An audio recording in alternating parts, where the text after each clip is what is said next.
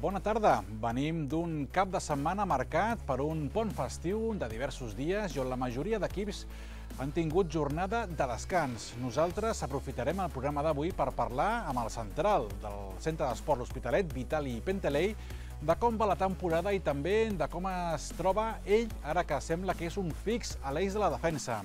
A la secció del bàsquet ens visitarà el director del torneig júnior Ciutat de l'Hospitalet, el Paco Caballero. Li preguntarem com van els preparatius per aquesta nova edició que arrenca divendres amb la presència dels millors equips d'Espanya i també d'un dels millors instituts del Canadà.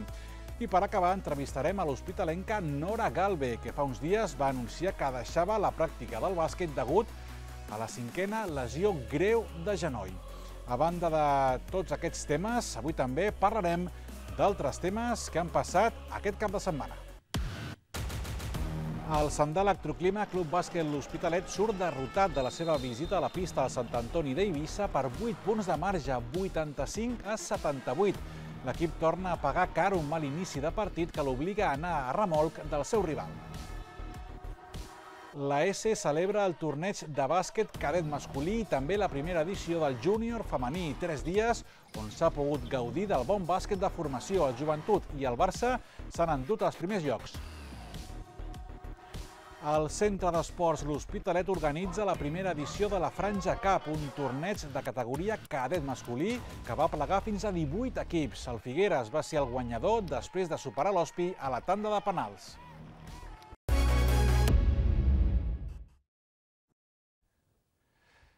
Aquest cap de setmana hem tingut jornada de descans tant a la tercera federació com a les categories territorials. Un descans per a tots els equips, incloent al Centre d'Esports L'Hospitalet. Aprofitant aquesta aturada, hem convidat al programa el defensa riberenc, Vitali Pentelei, amb qui volem parlar de tota l'actualitat que envolta a l'equip. Bona tarda, Vitali, què tal? Buenas tardes, todo bien, todo bien. Escolta, aquest any portem, bueno, tres mesos i mig de, de competició, nou victòries, eh, dos empats, dues derrotes, a només un punt de, del líder. Aquest any sí que hi ha bones sensacions no, al, al vestidor. Sí, comenzar bien siempre es importante y haber empezado también este año pienso que es un punto, punto muy importante. Luego, ya te digo, tenemos una exigencia y, y todo muy, muy grande para, para ascender. Este año la verdad es que no pensamos ni en el playoff. El único objetivo que tenemos en la cabeza es, es ascender como, como primeros. Al final, con los jugadores top que tenemos, pienso que es muy posible eso. Aquesta era una pregunta que, que tenia per fer-te més, més endavant, però m'agrada que la treguis perquè també demostra aquesta ambició que té el vestidor. Jo havia escrit eh, guanyar la Lliga o playoff descens. Lògicament és guanyar la Lliga, però vull dir, la pregunta volia emmascarar si eh, jugar playoff descens també seria un bon premi i pel que dedueixo, l'equip està molt conscienciat que no vol ni parlar de playoff, el que vol és la Lliga. No, no, ya te digo que lo tenemos claro desde, desde el inicio de la liga, que el playoff no es, no es un premio para nosotros, sino que el premio es ascender como, como líderes y ya te digo, sabemos, sabemos que es difícil, sabemos que la exigencia, como dije antes, es grande, pero ya te digo, eh, los jugadores que tengo al lado son jugadores muy grandes y lo vamos a conseguir seguro. Aquest de diumenge, últim partit del 2023, eh, a casa, davant del Vilafranca, 12 del migdia. No sé si al vestidor es parla, us agradaria acabar l'any com a líders. Per això hauríeu de sumar un punt més de Calolot, que juga a casa contra el Girona B, que sempre és complicat, ja ho sabeu vosaltres, que el vau superar, però bueno, va, va costar. No és això, es parla, es comenta, és un desig acabar l'any com, a, com a primers? Sí, claro que se habla en los vestuarios, siempre hablamos que es mejor siempre acabar como, como líderes, llegar a Navidades con las familias líderes, pero al final, aunque no dependa de nosotros, también depende de nosotros. Nosotros tenemos en mente ganar este, este domingo y irnos de vacaciones con victoria. Al final, el que és un fet, és una realitat, és que l'Hospi depèn d'ell mateix per guanyar la Lliga. És veritat que va segon, com diem, a un punt, però clar, és que l'Olot ha de venir a l'estadi municipal. Al final està, la, està a les vostres mans. Sí, sin duda. Eh, todo está en nuestras manos y, como dije antes, somos, somos muy capaces de, de hacerlo y, y pienso que si seguimos trabajando como lo estamos haciendo hasta ahora, al final con un día de descanso a la semana estamos muy concienciados en, en nuestro objetivo y lo tenemos siempre en la cabeza. En el futbol del que sempre més es parla és no, de, dels davanters, dels gols, però aquest any, eh, personalment, crec que si l'Hospi destaca per algun factor és per la, és per la defensa. 6 gols encaixats en 13, en 13 partits. Eh, si fas la, la, la mitja no dona ni a mig gol per, per partit. Estàs d'acord amb mi que aquest any la clau està sent la, la defensa? Sí, siempre acaba el partido no encajando goles con portería cero o un gol en contra, siempre es más fácil sacar puntos, ¿no?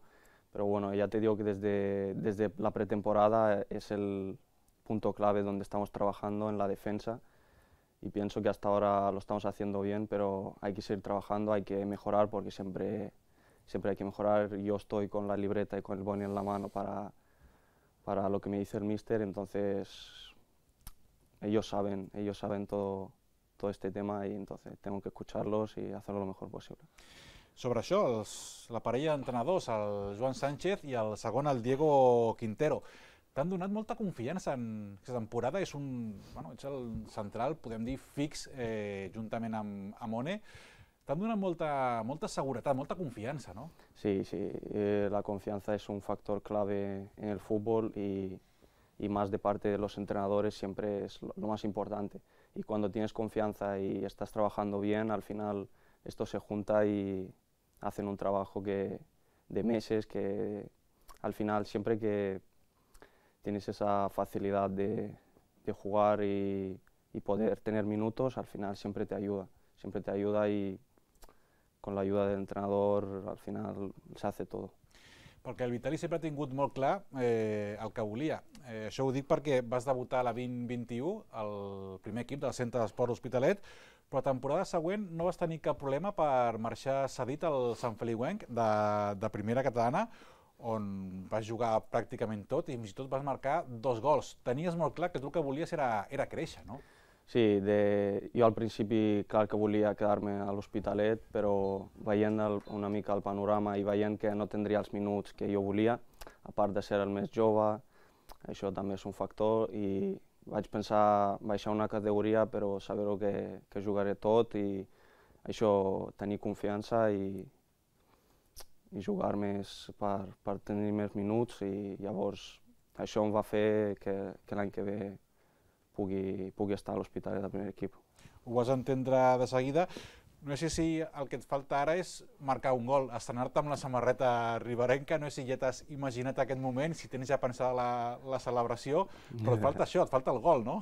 Sí, bueno, el gol jo crec que, que ja vindrà, això no és, el, no és lo, lo que penso, no és el, el més important, sempre és l'equip que guanyi, que, que podem treure els tres punts cada partit, però el gol, ja et dic, no, no, clarament el vull, però no és un, no és un objectiu que, deu, que tinguin al cap, sinó l'important és l'equip. Feia, comentava ara del gol, perquè tu, de fet, no et vas formar com a defensa, com a central, tu jugaves més, més endavant i és defensa, no sé si és la paraula, no? però per casualitat. Com, com va anar això? Eh, bueno, eh, fue la temporada pasada, estaba jugando de, de lateral, y estaba jugando todo el lateral básicamente, bueno, estaba jugando minutos porque no, no, estaba jugando prácticamente nada, entonces en un entrenamiento eh, de casualidad estuve de central, eh, lo hice bien, a partir de ahí al siguiente partido como hubo una falta de jugadores en ese momento que tuve que jugar de central, lo hice bien y a partir de ahí todo para arriba y, y de central. Tuve que que pillar más físico, más, más kilos en este caso, pero bueno, yo pienso que estoy yendo por buen camino y si toca de central, toca de central i si de lateral també. I de porter també, sí, si, també, si calgués. També, també. Canvia molt la manera de, de llegir, d'entendre el futbol quan es juga endavant o quan es juga endarrere? Has hagut de, de fer un canvi mental? Sí, la verdad que sí, siempre yo siempre he sido, si he sido lateral, siempre he sido un lateral muy ofensivo, siempre subía por banda, siempre intentaba relacionarme con el medio campo, era muy ofensivo, no era, no era, lo defensivo no era lo que más se destacaba de mí, pero bueno, de, de central se necesita mucho, sale balón también con el balón y al final eso es lo que más me gusta, lo que más intento mejorar.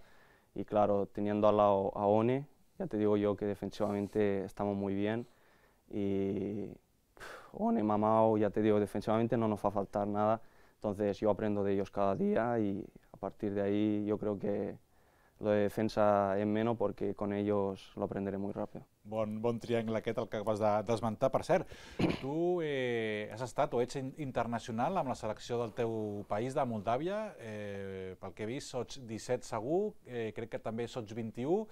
Sots 23, vas estar a punt, però per un tema acadèmic, d'examen, no, no vas poder, però bueno, al final estàs allà amb el que es diu a la pomada de les categories eh, de la selecció nacional de Moldàvia. Sí, siempre es un, es un sueño jugar con la selección de tu país, siempre es el sueño que tienes desde que empiezas a jugar a fútbol, pero al final eso llega gracias al club, a donde estás, yo pienso que mientras sigamos los pasos, mientras ascendamos, mientras ascendamos más categoría, yo pienso que algún día tendré alguna oportunidad con, con, el, con la absoluta y ojalá vaya todo bien.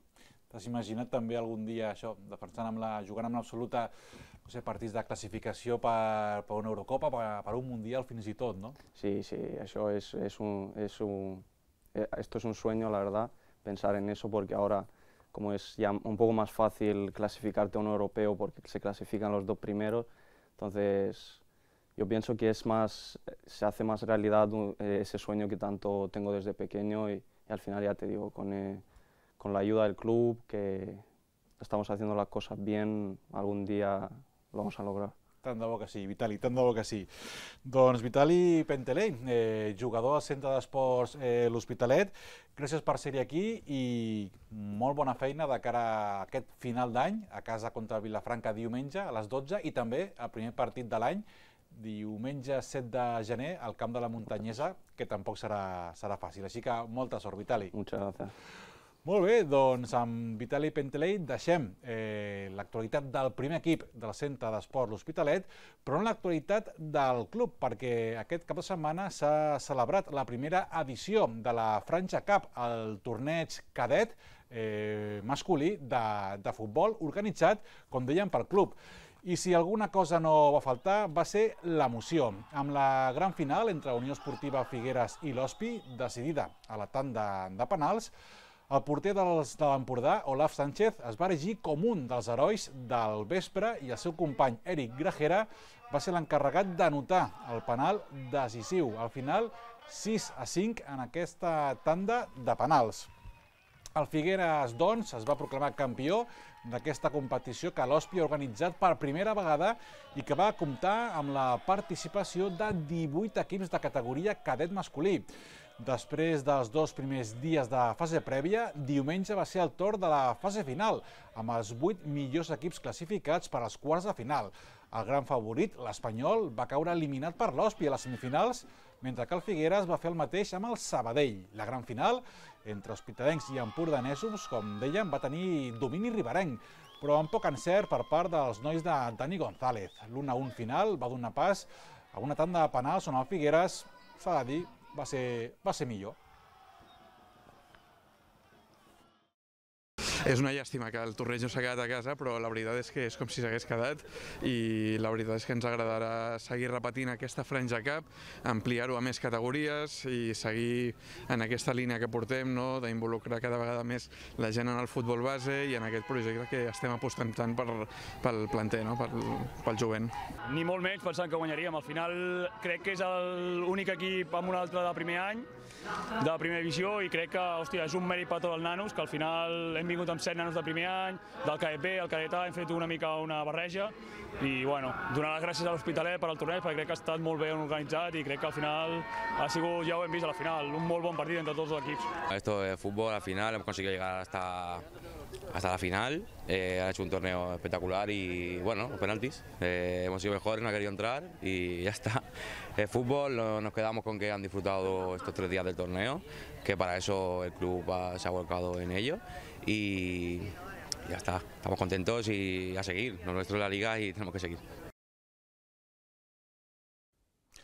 El Club de Futbol La Florida va celebrar la segona edició del torneig de Nadal en memòria de Luis González. Al llarg de dos dies es van aplegar un bon grapat d'equips de categoria de categoria, de categoria mini, volíem dir, fins a infantil.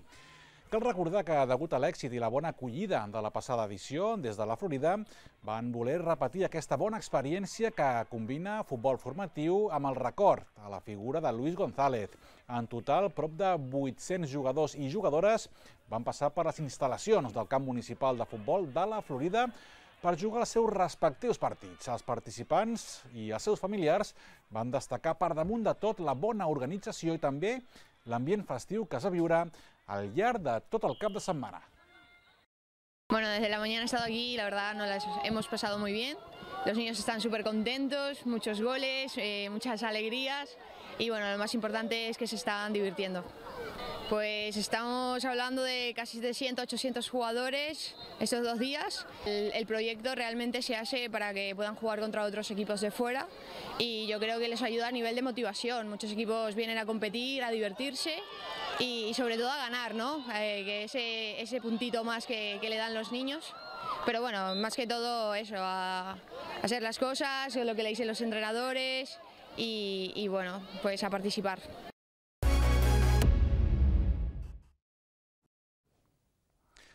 Doncs nova derrota del Sandà Electroclima Club Bàsquet L'Hospitalet jugant com a visitant a la Lliga Le Plat, en aquesta ocasió en el seu desplaçament a Eivissa per jugar a la pista del bàsquet Sant Antoni.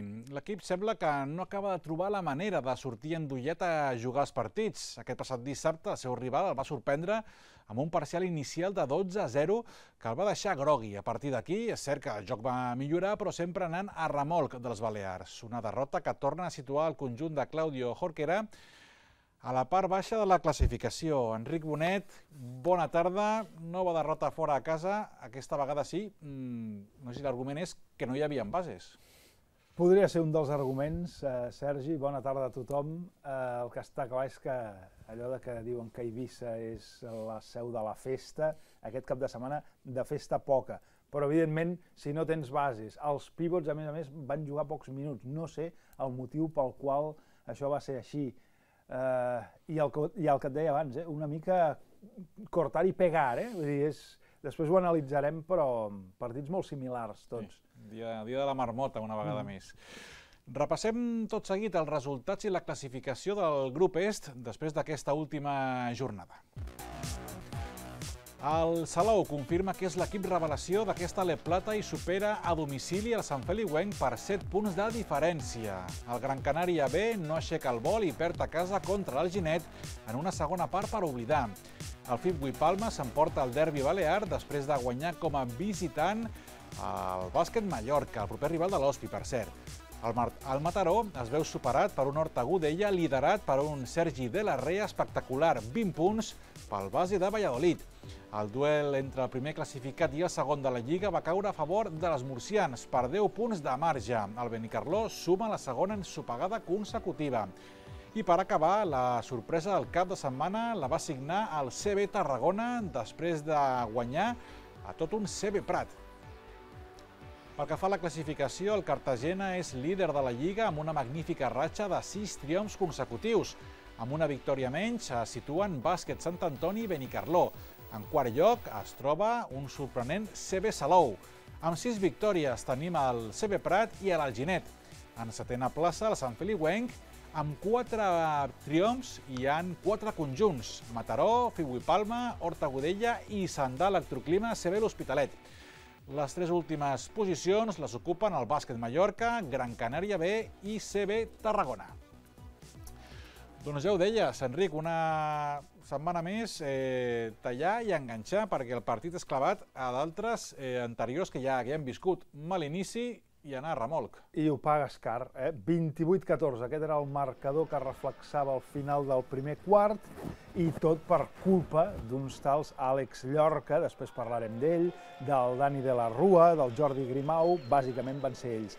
Eh, es basa molt el bàsquet Sant Antoni en fer bé eh, les coses que fa. Vull dir que no va a la badar, van a, a lo segur i de moment els hi està funcionant d'allò més. 102 de valoració pels locals en el partit de dissabte i es situen ara mateix amb 9 victòries eh, i dues derrotes únicament, segons classificats. El CB l'Hospitalet semblava descarrilar, és cert, però es va reenganxar. Al segon quart es va posar a un punt únicament, si no em falla la memòria, i va coincidir justament aleshores quan es van apagar les llums i els narradors comentaven de que hi havia hagut una apagada, sí, sí, una apagada del bàsquet Sant Antoni que el CB l'Hospitalet semblava aprofitar però, però a còpia d'orgull, eh? perquè és que col·lectivament el CB l'Hospitalet no podia plantar cara al bàsquet Sant Antoni sense bases i, a més a més, amb uns pivots que en el cas de Nous va jugar 14 minuts i en el cas del DJ 13 minuts. No entenc el, el per què. Um, I si col·lectivament no podíem fer, doncs almenys individualment sí que buscant l'un contra un, el dos contra dos, podíem desbordar els contraris. Fixeu-vos, Guillem Sabatés, amb 24 minuts, 21 punts, amb 6 de 8 en el triple. El Nil Baqués, fent de base, aquí el teníem en imatge, 17 punts amb 5 de 9 en tirs de camp i 5 de, 5, de 5, 100% en el tir lliure. El Gerard Sevillano ja està començant a carburar, eh? 11 punts, 7 rebots. I molt bé també l'Arnau Tarrida, que en aquest inici de temporada no acaba d'estar fi del tot en el tir, però fixeu-vos l'actitud i en el rebot. 6 rebots va capturar, segon màxim de l'equip dissabte passat pel CB l'Hospitalet.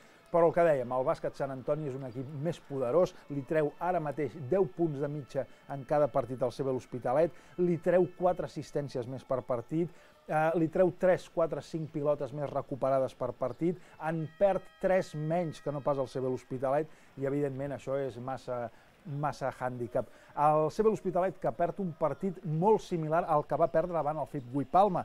85-79 va ser el, aquell dia el marcador, amb un primer quart molt similar, 25 a 14, i davant el CB Alginet exactament el mateix. Es va perdre de 4 punts després d'un 12-23 al final del primer quart, que va ser fatídic. Doncs jo crec que no cal parlar més d'aquest partit, passar pàgina, perquè al final és com fer l'Araquiri, no? I parlar del futur, i el futur passa pel bàsquet Mallorca, que serà el proper rival de l'Hospi a casa dissabte vinent a la tarda, un partit crucial per deixar enrere els equips de la part baixa. Serà a les 6 de la tarda i m'encanta parlar avui del bàsquet Mallorca perquè és un d'aquells equips que m'ha deixat flipat, permeteu-me que ho digui així, a l'hora d'estudiar-lo. Eh? Són dotzens classificats ara mateix, amb 3 victòries i 8 derrotes, amb el CB Sant Feliuenc, compta amb aquesta dada, és el tercer equip, estan enganxats com a tercer equip amb menys punts en contra, o sigui, una defensa sideral. Fixeu-vos que el bàsquet Sant Antoni és segon classificat i només ha encaixat 3 punts més que el bàsquet Mallorca. Compta amb aquesta dada. Però atenció amb aquest anàlisi. A la tercera jornada van anar justament a la pista del bàsquet Sant Antoni, va guanyar bàsquet Mallorca 61-72. En aquells moments es situaven els de Palma amb tres victòries i cap derrota, però tot el que hem fet a partir d'aquell dia ha sigut ensopegar una vegada i una altra. A la quarta jornada vam perdre amb el CB Sant Feliuenc de dos punts i ahir que era l'oportunitat fantàstica davant de FIP Palma per trencar aquesta, aquest malefici, van començar molt bé amb un 21-11 en el primer quart, però és que en el darrer període van encaixar, agafeu-vos fort, 38 punts, parcial de 25 a 38, que va llançar eh, per la borda tota la bona feina del bàsquet Mallorca. Per tant, dissabte que ve a les 6 de la tarda, oportunitat magnífica per encolmar-los una altra derrota als del bàsquet Mallorca. Tant de bo que sí, perquè també serà l'últim partit a casa d'aquest 2023 i cal acabar amb bones sensacions. Enric, eh, tenim poc menys d'un minut. No sé si prefereixes deixar l'amunt i avall per la setmana vinent. De, de sobres. Sí? sí doncs sí, sí, tu sí. mateix, Enric. Tu... La Vall, us ho vaig dir dies enrere. Milan Subskasevic, MVP de l'Alep Plata, quan juga amb el CB l'Hospitalet. Guim Expósito, el mateix. Ahir va haver un triple empat. Pedro García, del CB Benicarló, José Alberto Jiménez, d'Ude Algeciras, i en faltava un. Qui va ser? Àlex Llorca, que per més INRI resulta que és ex del CB l'Hospitalet. Com diuen en castellà, esto no tiene ni pizca de gràcia. I l'amunt, Guillem Sabatés, el dia de saber a l'Horta Godella, portava un triple de 20 intents. Això va ser fa un mes i 10 dies. Ara mateix es situa en un 31%. Per què? Perquè dels últims 25 que ha llançat n'ha convertit 13, més d'un 50%. Un amunt genial per tu. No està gens malament. Enric Bonet, ens retrobem dilluns vinent, que tindrem molta teca amb el partit de l'Hospi i també el torneig júnior Ciutat de l'Hospitalet. Ens ho passarem de fàbula. Fins aleshores, salut i bàsquet. Gràcies, Enric.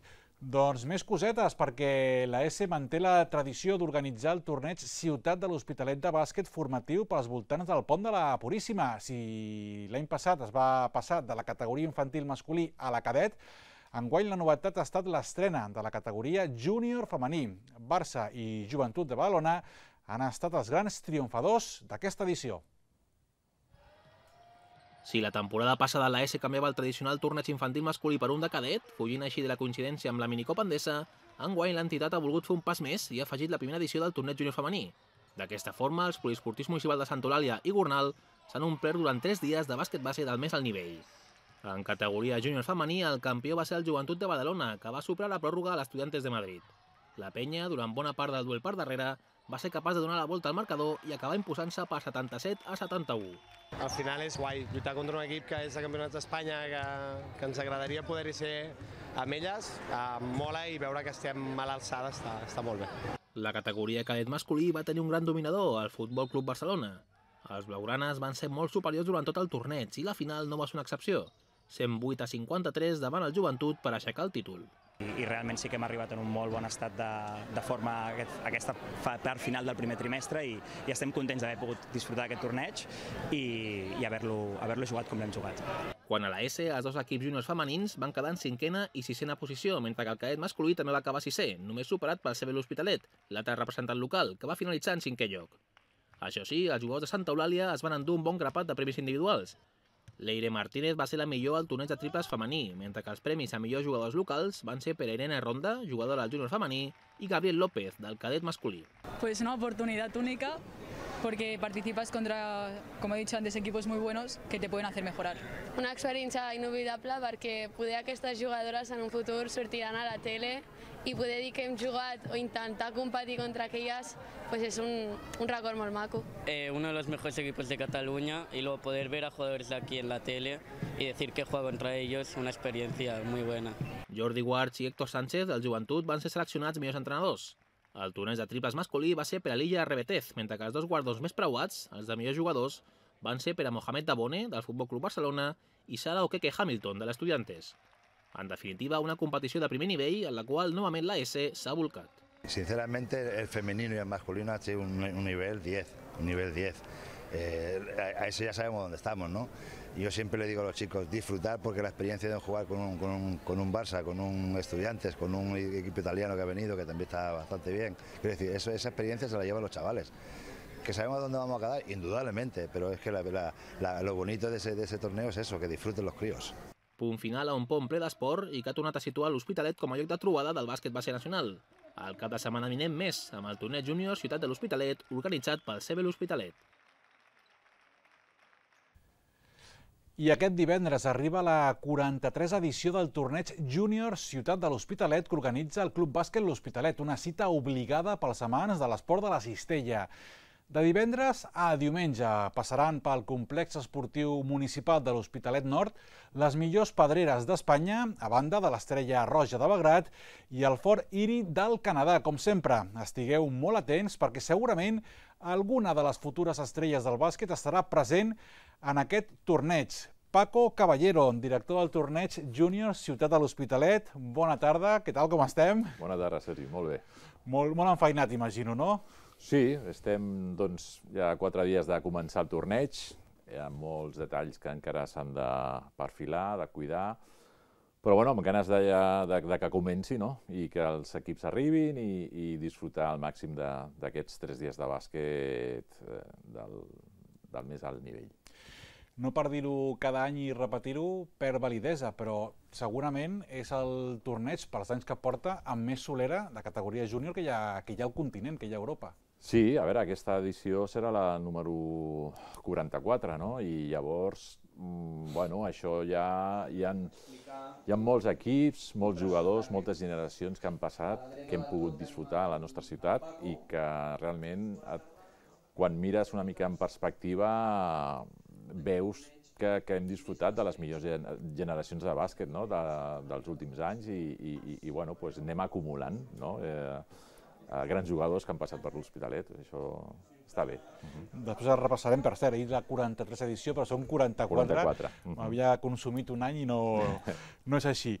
Eh, si et sembla, anem a repassar els, els equips. Comencem pel, pel grup A. Uh -huh. Tenim els nostres, els anfitrions, el sí. Club Bàsquet L'Hospitalet. Tenim el Barça, el València Bàsquet i el Fort Erie International Academy, un equip del Canadà, un high school, eh, sí. que pel que diuen és de, de les millors pedreres, no? Del, dels que millor tracten el bàsquet de formació del, del Canadà. Sí, bueno, de, de, de fet és el, podem dir, el segon programa, com ells diuen, de, de bàsquet més important de, del país, d'aquesta categoria.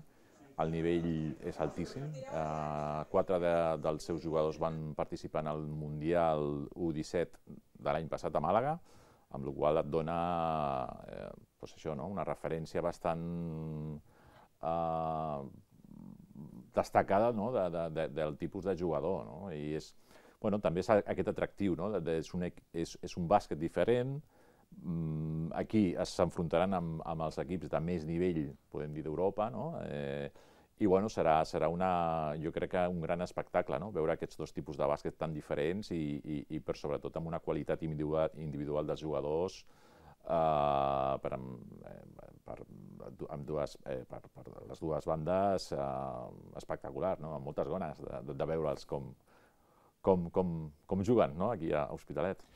A l'hora d'escollir, de, de, bueno, d'anar a buscar el Fort Erie Institute, eh, ha tingut pes el fet que el Canadà els últims anys doncs, bueno, està destacant força eh, a nivell internacional?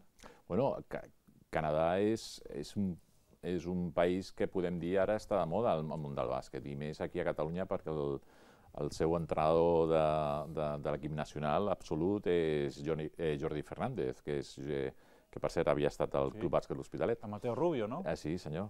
I, I ara mateix, és, a, a part de la seva carrera ja com, com a entrenador assistent uh, a la NBA, doncs aquesta nova etapa com a seleccionador del Canadà, pues, uh, és, ja, ja diem, el Canadà és un, un dels, país, dels països amb més, eh, bueno, amb més fama o, o, o més uh, qualitat a l'hora de, de, quan parlem de bàsquet, no? a, a, a nivell mundial, tret de pues, això, eh, Estats Units, França, Sèrbia, però Canadà està en el top també de, del bàsquet a nivell mundial. I tenim el Barça en aquest mateix grup, no sé si Forir i Barça serien a priori eh, els favorits, tot pot passar perquè al final és un grup de, de quatre, uh -huh. cada equip jugarà tres partits, però el Barça també suposo que vindrà amb, amb, les, amb les seves futures eh, estrelles o jugadors del, pel primer equip. Sí, no, el, el Barça portarà pues, els seus millors jugadors. No? Eh, està clar que, que, que Barça sempre és un equip que és favorit, i, i, o almenys dels favorits en qualsevol competició. El torneig no, no és diferent amb això. Hem de veure també, no? perquè uh, ja et dic, una mica la incògnita de com serà el rendiment dels canadencs, també trobem un València Bàsquet que, que, que déu-n'hi-do com està treballant amb, amb, amb, amb, el, amb, amb la pedrera, no? I, bueno, però sobre el paper Barça ha de ser un dels equips importants de, del torneig. I en el grup B tenim el Manresa, l'Estrella Roja de, de Sèrbia, Joventut de Badalona i Real Madrid, que darrerament, en els últims anys, mm, opinió personal meva, és segurament la millor eh, escola de formació d'Europa. De, no sé si estàs d'acord o no.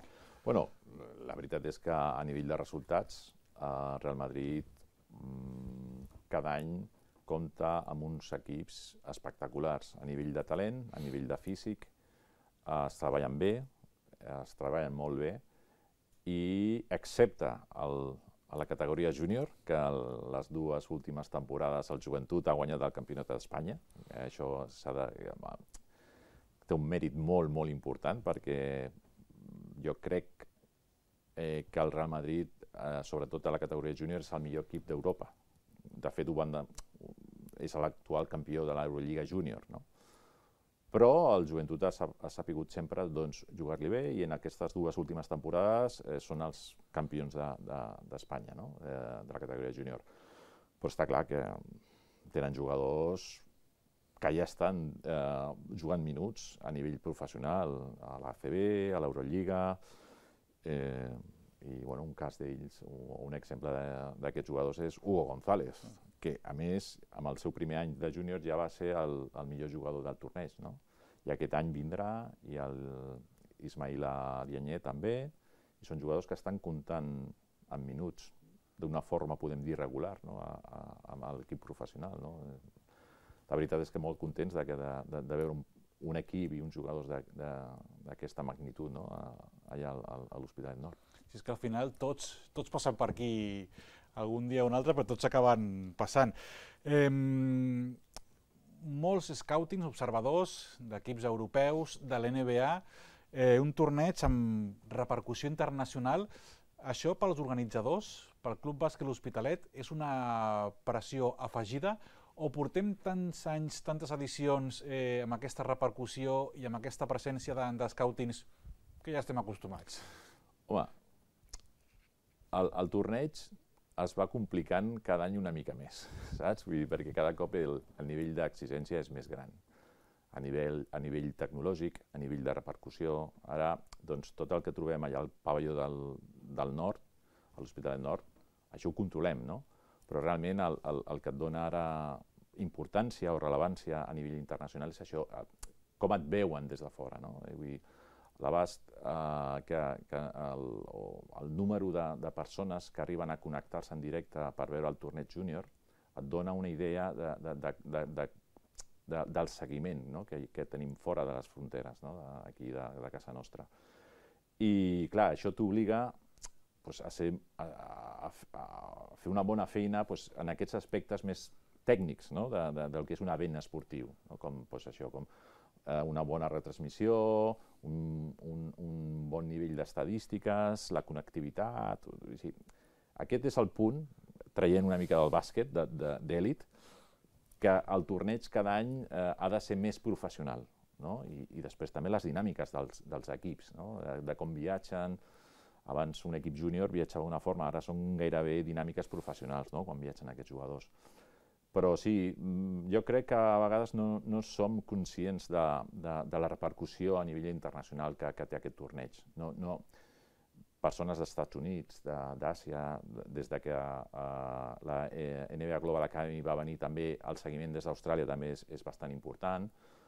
Bueno, jo crec que, que dona una, una molt bona projecció no? de, la, de la imatge de, de, de, de l'esport de, de l'Hospitalet. No? Potser és una de les millors versions que tenim ara mateix a la ciutat un torneig amb molt focus internacional i on hi participen els nostres, el Club Bàsquet L'Hospitalet, l'equip júnior dirigit per Xavier Pardina i amb dues baixes sensibles, la de Collado i Martí Sadó. Què hem d'esperar dels nostres? Suposo que el clàssic, no? Gaudir de l'experiència? Sí, això primer.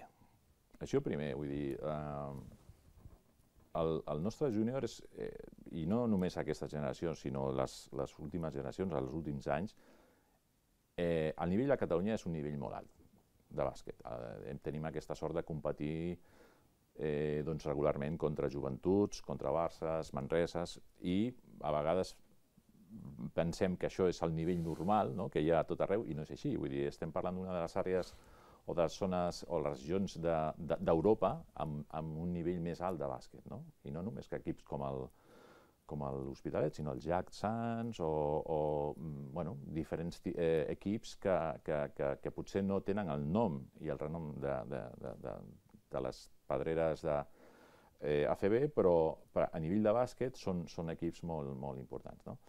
I, i a l'Hospitalet eh, ens hem consolidat com tercers o quarts, no? aquí sempre amb la batalla que tenim amb Manresa principalment no? per ocupar aquesta, aquesta posició, i, I això és garantia de que l'equip competirà i competirà molt bé.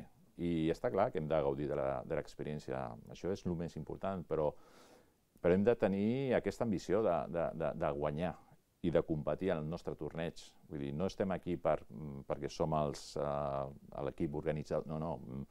volem, volem competir, volem que, que el, el paper, que, el bon paper que hem de fer en aquest torneig parli de nosaltres, vull dir, i és un altaveu a nivell internacional perquè es conegui no? què fem al Club Bàsquet Hospitalet, com ho fem i sobretot el nivell dels nostres jugadors. No? I parlant de, dels jugadors que, han, que, que no, no, no hi seran perquè estan lesionats, pues és una llàstima. Vull dir, mm, realment eh, arribes aquí, estàs al club esperant que arribi aquest, aquest moment, no? I, i, i bueno, pues les lesions mai són benvingudes, no? però menys en un any tan important, amb un event tan important com és el torneig. No? En aquest cas, Collado és un, és un jugador que, que està amb nosaltres eh, des de fa eh, poc temps, però, però clar, el cas de Martí és, és un cas que, que bueno, ens ha arribat a tots una mica, no? que és un nano que ha estat des de l'escola de bàsquet aquí al club i que, bueno, eh, pues, eh, no jugarà al torneig júnior per, per aquesta lesió que es va, de fet es va operar aquest cap de setmana, crec. Ha anat tot molt bé i estem molt contents, i, però bueno, estem segurs que el bàsquet li donarà moltes alegries i, i que ell serà allà a l'equip, amb, amb, amb l'equip doncs, ajudant i, i bueno, doncs això. Des d'aquí, per cert, traslladem molts ànims tant a Collado com a Martí Sadó, el Martí, sobretot, perquè que tu dius, no? Segur, segurament des de ben petit somiant, eh, per saber quantes vegades ha somiat o s'ha imaginat... Sí, ha estat de voluntari i, i, i, bueno, i ha viscut el torneig eh, allà mateix i segur que somiant que un dia, doncs, en comptes d'estar amb la mopa o d'ajudant amb les estadístiques, ell seria allà doncs, jugant. Ficant no? punts, no? Però bueno, eh, no ha pogut ser i bueno, però igualment el, la fita l'ha aconseguit, no? que s'ha arribat a un, a un júnior del Club Bàsquet Hospitalet i que no és fàcil i, i començant des de molt ben petit al, al club. I per anar a acabar, dos apunts. En recordar que dissabte, eh, dia 16, hi ha una jornada d'escoletes eh, de formació de l'Hospitalet a l'exterior del complex esportiu municipal eh, de l'Hospitalet, eh, l'Hospi Nord, i on els petits jugadors i jugadores, tant com els familiars, podran entrar aquell dia si m'equivoco m'ho corregeixes, de manera mm -hmm. gratuïta a veure eh, específicament aquella jornada. I l'últim, eh, suposo eh, que les entrades ja estan a la venda, ja es poden adquirir, com, com es pot fer? Sí, de fet, encara bueno, eh, a través de la nostra pàgina web, d'una forma molt senzilla, els, els aficionats que vulguin poden entrar i, i, i comprar aquestes entrades. De fet, fins, fins eh, divendres amb, amb unes condicions especials com a venda anticipada que es poden doncs, estalviar alguns dinerets per veure el, el millor bàsquet d'Europa. Que sempre, que sempre va bé. Doncs Paco Caballero, director del torneig júnior, ciutat de l'Hospitalet, gràcies per, per venir aquí a explicar-nos eh, la prèvia del, del torneig i molt bona feina en aquesta setmana llarga que, que segur que en tindreu i que sortirà molt, molt bé tot plegat. Moltes gràcies, Paco. Molt, moltes gràcies a ti. Doncs fins aquí tota la informació referida al món del bàsquet. Ara el que toca és anar uns segons a la publicitat i de seguida anem amb l'espai de l'entrevista, avui dedicat a la ja exjugadora Nora Galve.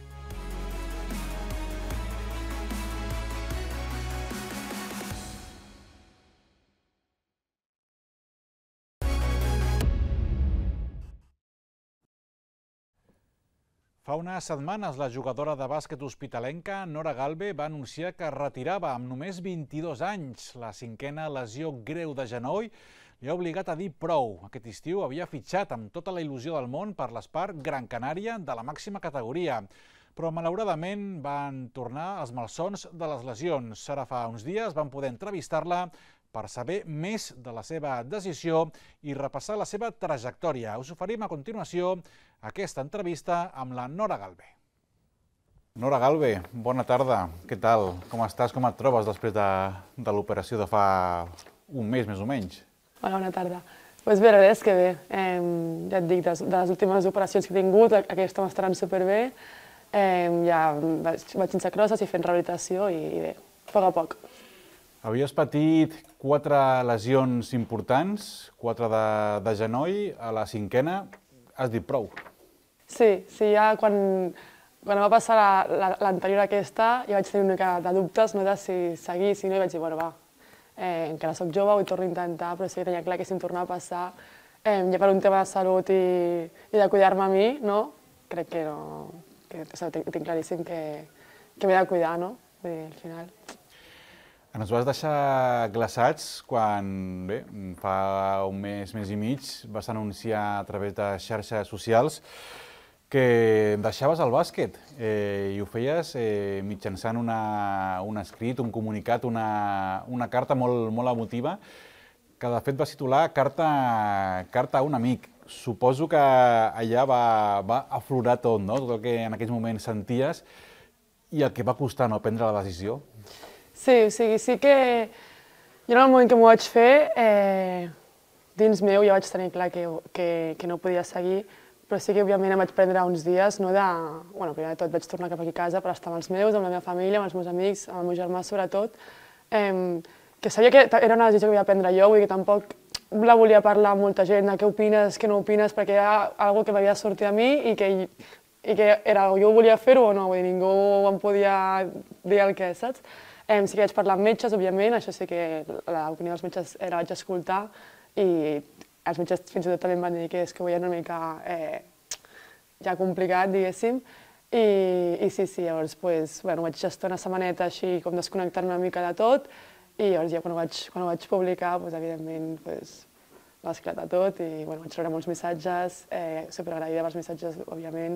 Molta gent que potser ja feia anys que jo em pensava que ja no, que no em seguia, entrenadors que havia tingut, em van escriure... I vulguis o no, va ser un moment trist, però molt bonic també, no? de, de recordar tot el que he viscut. Sobre això volia parlar, has dit trist. De fet, en el comunicat eh, textualment dius que ha estat una decisió trista, però no pas difícil, no?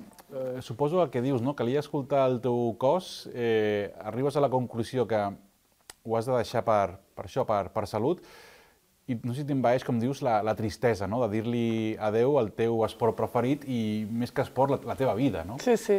Sí, òbviament, o sigui, ja et dic, per mi el d'avui encara ara, a dia d'avui, eh, se m'està fent d'ús això, que he deixat enrere una cosa que a mi m'encanta, no? que és ja no només el jugar a bàsquet, sinó la, la vida que envolta el bàsquet, no? el poder viatjar, el poder conèixer gent cada dia, eh, el poder anar a viure a llocs que, sincerament, sense el bàsquet no hi, no hi hagués anat a viure.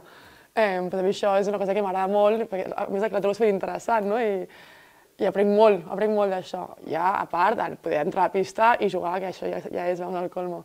I clar, això a mi se'm fica trista perquè és una cosa on jo era molt feliç.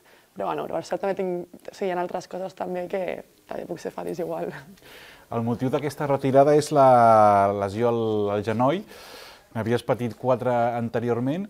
Per aquella gent que mai hagi patit una lesió el genoll o si l'ha patit tampoc és esportista d'elit com, com tu, què representa eh, recuperar-se d'una lesió de, de genoll? Com és, un, com és un, el procés de, de recuperació? Eh, sí, el, el genoll en si és una lesió, sí que és molt comuna, no? Vull dir que l'operació eh, és fàcil, vull dir, jo que m'ho he tingut poder operar-me, no sé, és una, una operació fàcil. Sí, és veritat que el ser el genoll és complicat perquè al final el nostre cos està o sigui, contínuament apoyant el genoll i el, genoll es, està patint contínuament. Eh, llavors sí que la recuperació per això és tan llarga, no? perquè sabem que quan ens posem a jugar, i més en el bàsquet, que aquesta estona canvia sentit, saltar amunt i avall, l'has de tenir ja curat del tot. Eh, llavors, bueno, sincerament és estar nou mesos, eh, cada dia, eh, fisios, gimnàs, entrenos, cada dia. I el dia que descanses és perquè et toca descansant, vull dir, però ja estàs pendent també de, de que ho fas pel genoll. Llavors és això, al final, després de, de, tres operacions, bueno, quatre operacions, estan pendent del genoll també un, és un tema mental, i també és que tampoc, és que no, no seria més tornar-ho a fer tot, no? Al final. Clar, que al final sí, són, sí. són nou mesos, com, com expliques. Suposo que hi ha dies de tot, no? Dies que no tens ganes, dies que al contrari et veus amb molta força. És una recuperació física, però també, com estaves apuntant ara, també mental, no? perquè al final també t'has d'envoltar, no? imagino, de, de la gent que més eh, t'estima, que més et cuida, no sé si fins i tot ajuda professional amb, amb psicòlegs, és tan important lo físic com lo mental. Sí, sí, òbviament, eh, durant aquests anys he tingut psicòleg, una, una psicòloga que m'ha ajudat molt. Eh, bueno, sí, és això, és, a mi, a mi el que més m'ha ajudat a les lesions dels genolls eh, és això el que deies, no? que encara que un dia no tingués ganes de, de fer-ho, ho has de fer. I, és, i és la constància, no? Aquesta constància de... Bueno, jo, a vegades era, no hi pensis i fes-ho, és igual, no hi pensis, perquè si, si t'ho has de pensar, vamos, caus en el vacío, saps?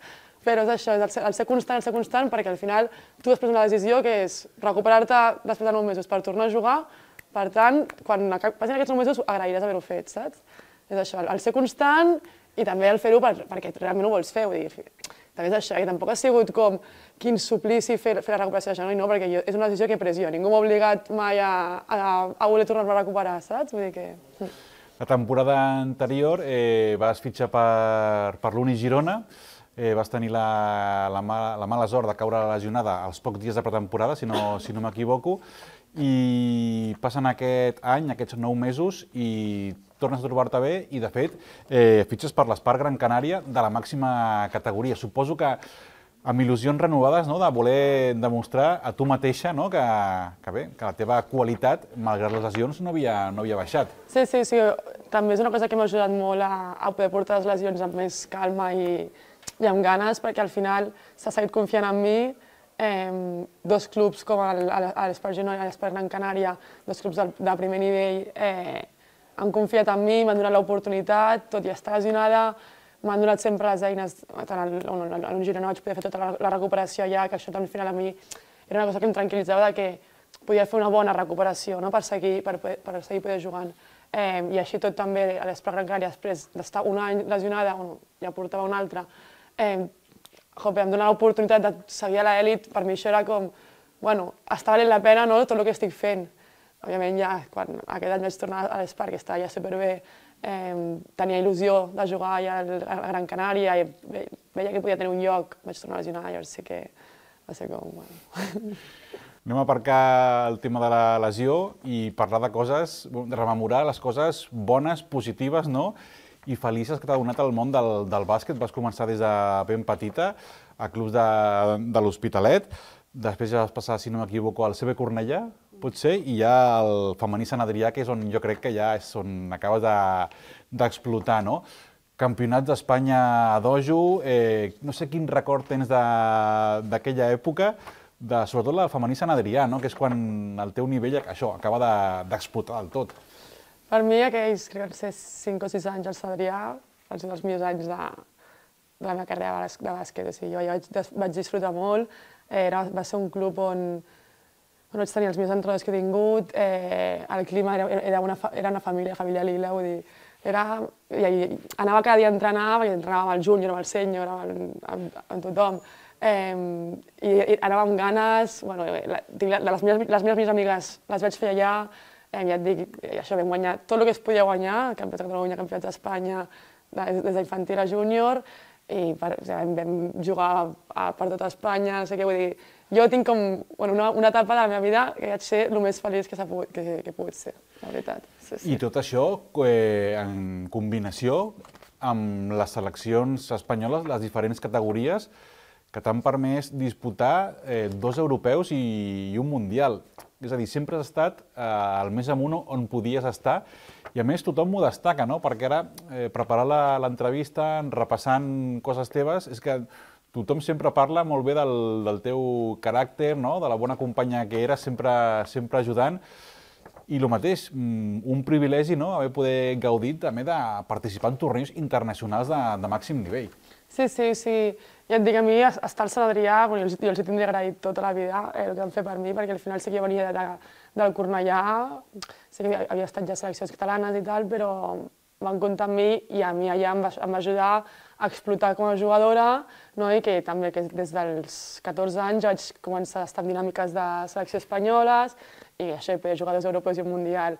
Sent tan jove, no? que encara vius a la, a la burbuja de, de tot, tot happy, no? pues, jope, eh, sigui, és algo que m'emportaré ja, ja per sempre, òbviament, sí, sí. Imagino que aquestes bones paraules que dediquen excompanyes, exentrenadors, entrenadores de tu, eh, ets la mateixa Nora eh, a la pista que, que fora, no? O sigui, ets la, la mateixa sí, no persona. Sé.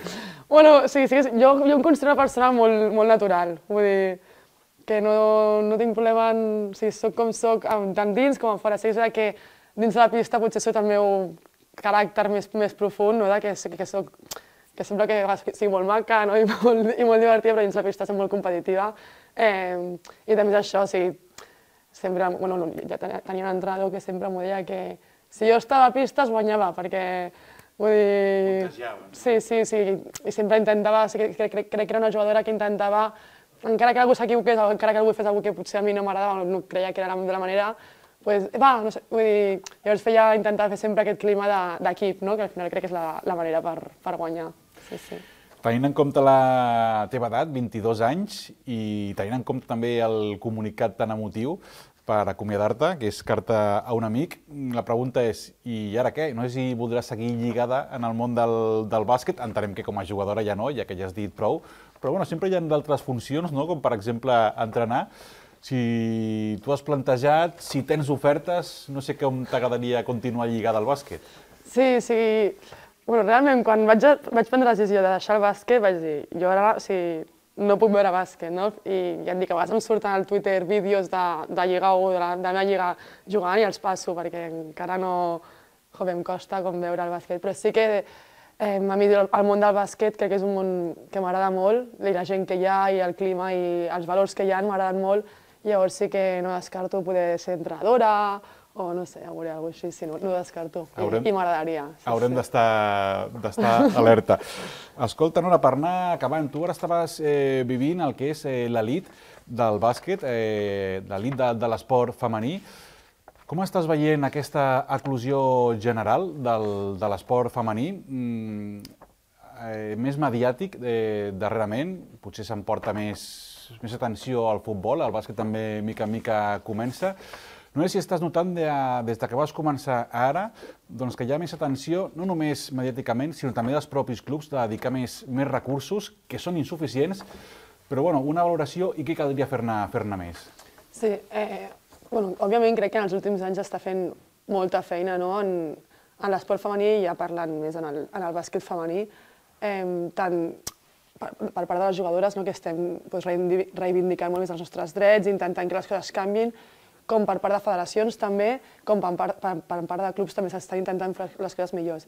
Tot i així, i és veritat que m'he trobat en situacions eh, en l'elit eh, que són, són és dir, impensables per, per, per una jugadora que s'ha de dedicar a això. Eh, llavors crec que encara queda, queda molt per fer, crec que s'ha de fer un, una inversió més que res, perquè al final eh, per poder per poder generar més, primer, primer ha d'haver una inversió per part de, de les administracions, eh, però bueno, però crec que s'està intentant i en els últims anys eh, i en els següents anys la Lliga de bàsquet jo estic segura que millorarà molt i serà més professional. Això al final estan molt bé els, els discursos, però és allò de fets i no, no paraules, sí, no? Sí. perquè al final els discursos... Bueno, per part, de, per part del, de l'ajut es diu, que és l'Associació la, de Jugadores, eh, estem treballant molt amb, amb, parlar amb federacions i amb, i, amb, i administracions i tal per poder professionalitzar la lliga perquè la, el bàsquet femení encara és una lliga semiprofessional. Llavors encara hi ha molt, moltes coses que, que sí, és, per nosaltres és molt, és molt complicat a vegades poder-los dedicar al 100% a això. Al final estem parlant de, de dignitat i, i res més. Escolta, per, per acabar ja, eh, estaves estudiant educació primària, no sé com, com ho portem, això? Sí. Estem acabant ahí va, ja? Ahí va. Eh, sí, queda, queda mig anyet i acabo. Sí, sí, sí, però bé. Sí, ja et dic, per sort, a part del bàsquet també tinc una altra faceta de mi que m'agrada molt l'educació eh, i, els, i els infants i, i també em motiva molt ser professora, professora d'educació primària i endavant, sí, sí. I l'últim ja, molt ràpid, no sé si ara que no jugaràs a bàsquet, potser encara no acabes d'entrenar, tindràs més temps per tocar el piano, que m'han dit que ho he sí. llegit per, per algun lloc, que, sí, no, que la, el toques. La música, la música en general també m'agrada molt. Bueno, jo tocava el, el violoncel. Ah, no, no és el piano? El piano també el toco. però el meu germà és pianista, llavors sé tocar una mica de piano, però jo de petita tocava violoncel, eh, el meu instrument és el violoncel, eh, així que sí, no, tampoc descarto, per, per exemple, retomar-lo. Sí, sí. Nora Galve, polifacètica. Sí. doncs escolta, Nora, mm, ho deixem aquí, agrair-te la teva presència per explicar el teu, el teu comiat I res, desitjar-te molta, molta sort de cara al futur, facis el que facis i si en algun moment entrenes algun equip, estarem atents Perfecte. per fer una, una primera notícia de la teva arribada al món de, la, de les banquetes. Així que Perfecte. moltes gràcies, Nora. Moltes gràcies a vosaltres. Amb la conversa amb la Nora Galve hem arribat al final del programa d'avui. Nosaltres tornarem, com sempre, el proper dilluns per oferir-vos l'últim programa d'aquest 2023. No hi falteu i que tingueu una molt bona setmana.